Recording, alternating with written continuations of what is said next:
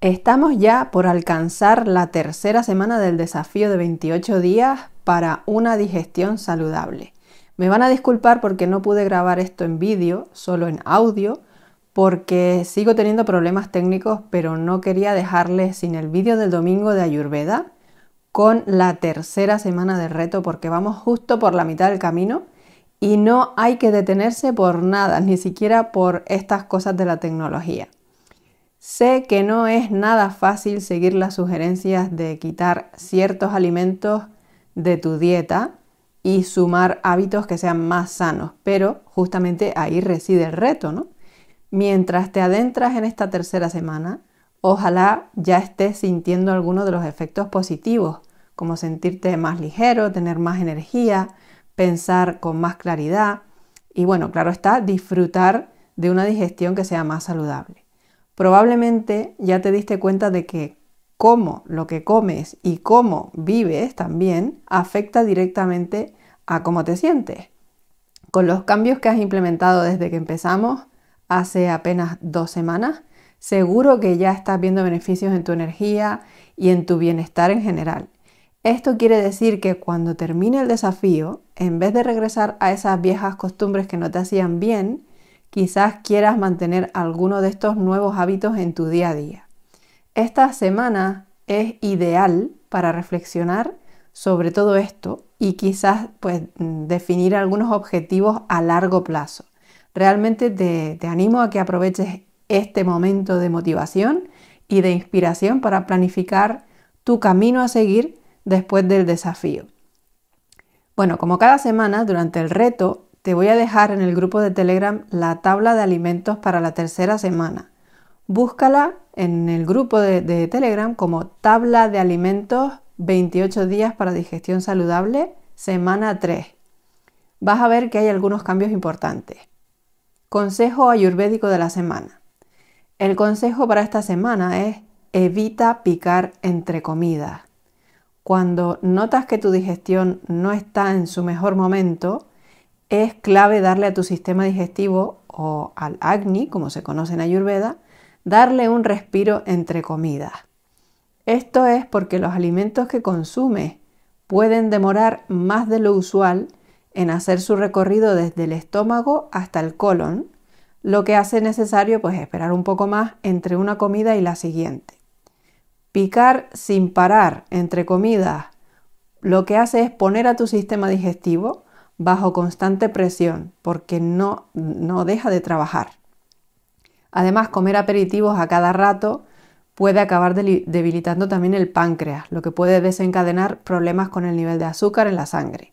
Si te cuesta mucho dejar de comer entre comidas, mm, puedes probar sustituir tus snacks o tus picoteos habituales por otras opciones que sean más simples y más fáciles de digerir hasta que logres cortar con esa costumbre.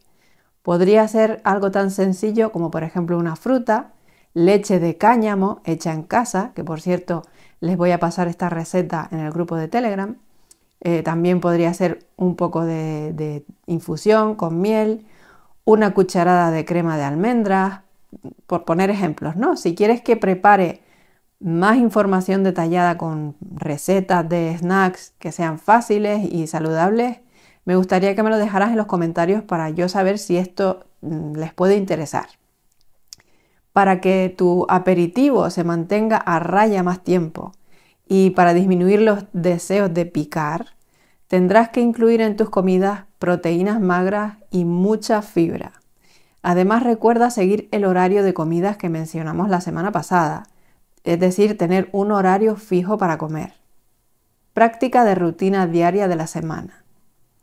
Para esta semana, como dinacharya o como práctica de rutina diaria, vamos a dar un paseo de unos 15 a 30 minutitos después de la comida del almuerzo o de la cena. No sé si lo sabías, pero uno de los peores hábitos para tu digestión es acostarte justo después de comer. Por otro lado, una de las formas más útiles para aumentar mm, tu fuego digestivo, tu agni, es dar un corto paseo después de las comidas.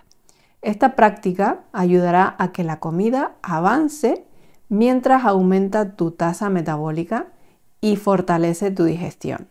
Dar un paseo cada día no solo ayudará a que tu cuerpo físico permanezca saludable, sino que también notarás un aumento en tu salud mental.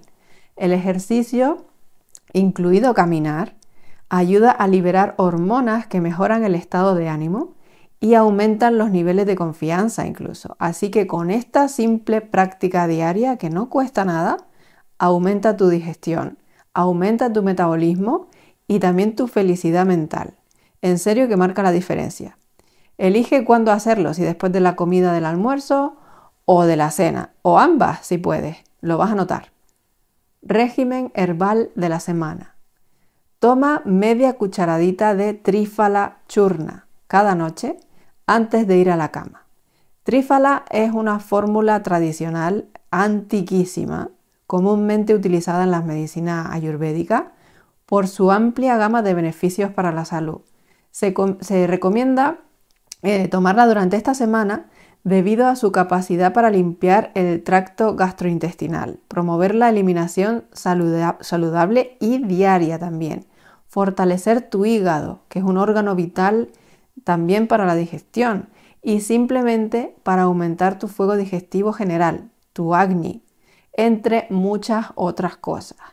Tengo un artículo donde te hablo de las maravillas del trífala en la web de Escuela Natur, que te dejaré el enlace más abajo para que eches un vistazo, porque te va a sorprender para todo lo que es útil trífala. Resumen de la semana 3. Bueno, como resumen de lo que vamos a estar trabajando esta semana, tenemos a los alimentos nuevos que eliminar, que los verás en el PDF que te comparto en el grupo de Telegram. Hay que eliminar todos los alimentos con conservantes y con aditivos. También vamos a dejar de comer fuera de casa. Y seguimos con lo de la semana anterior, nada de gluten, nada de azúcar, tampoco lácteos, ni carne roja, ni carne de cerdo. Como consejo ayurvédico vimos que vamos a dejar de comer o de picotear entre horas. Como práctica de rutina diaria vamos a dar un paseo de al menos unos 15 minutos aproximadamente después de la comida del almuerzo o de la cena. Si puedes caminar más tiempo, pues mucho mejor. Y como régimen herbario, tomar media cucharadita de trífala cada noche antes de ir a la cama. Si no sabes dónde comprar trífala, entra en el artículo de escuelanatur.com que allí te indico dónde poder adquirirlo. Pon en el buscador trífala y allí encontrarás el artículo completo. O si no, mira en la cajita de descripción de este mismo vídeo donde te dejo el link directo al artículo. Muy interesante. Bien, si hay alguna duda o comentario que quieras hacer sobre cómo te estás sintiendo en este reto, me encantará leerlo. Así que deja aquí tus comentarios. Comparte este vídeo para ayudar también a otras personas y no te olvides de suscribirte al canal para que todo este tipo de información que es gratuita pueda llegar a más gente y YouTube entienda que es de interés. Muchas gracias por llegar hasta aquí y nos vemos la próxima semana, que será ya la cuarta semana del reto. Chao.